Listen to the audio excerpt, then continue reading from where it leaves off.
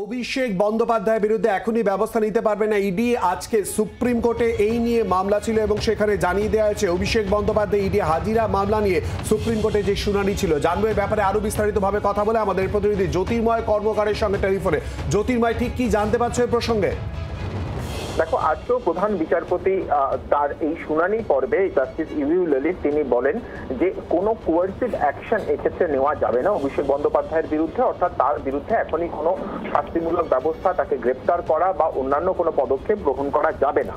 দ্বিতীয় আরেকটি বিষয় গুরুত্বপূর্ণ অর্ডার আজকে এসছে, তা হচ্ছে অভিষেক বন্দ্যোপাধ্যায়ের ট্রাভেলের ক্ষেত্রে কোথাও কোনো এমবার্গো থাকবে না। চিকিৎসার জন্য অভিষেক বন্দ্যোপাধ্যায় তিনি দুবাই যেতে চেয়েছিলেন, কিন্তু ইডির তরফ থেকে তাকে বাধা দেওয়া হয় যে তিনি এখনই কোনো বিদেশ যাত্রা করতে পারবেন না এবং তার প্রেক্ষিতে অভিষেক বন্দ্যোপাধ্যায় তিনি সুপ্রিম কোর্টের দ্বারস্থ হয়েছিলেন।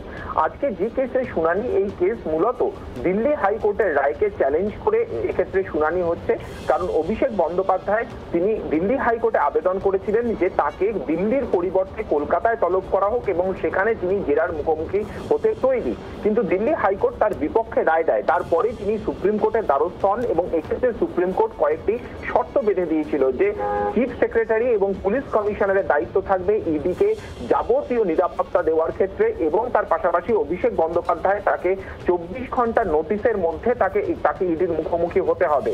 এবং তার প্রেক্ষিতেই এই মুহূর্তে কলকাতায় আমরা দেখতে পাচ্ছি যে অভিষেক বন্দ্যোপাধ্যায়কে ইতিমধ্যেই তলব করা হয়েছে। কিন্তু এবারে যেটা গুরুত্বপূর্ণ, সেই সময়কার অর্ডার ছিল মূলত ইন্টারিম অর্ডার সেই কেসেরই কন্টিনিউয়েশন চলছে। এবং আজকে তার প্রেক্ষিতেই আরও এক দফা আজকে শুনানি হয়েছে যেখানে। নো কোয়ার্সিভ নো কোয়ার্সিভ অ্যাকশনের কথা বলা হয়েছে এবং কোনো রকম ট্রাভেল এম্বার্গো যে থাকছে না সেই বিষয়টিও জানানো হয়েছে। অর্থাৎ বিদেশে যেতেও কোনো বাধা রইল না অভিষেক বন্দ্যোপাধ্যায়। ধন্যবাদ জ্যোতির্ময়।